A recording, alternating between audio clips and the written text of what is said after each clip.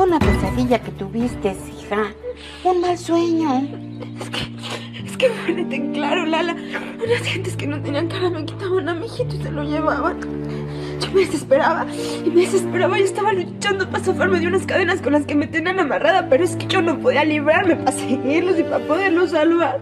No podía, no podía, no ya podía. pasó, cálmate.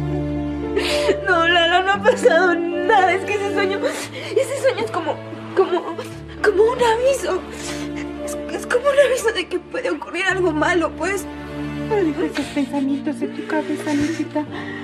A ti lo que te tiene preocupada es que Leopardo no está en la hacienda para protegerte.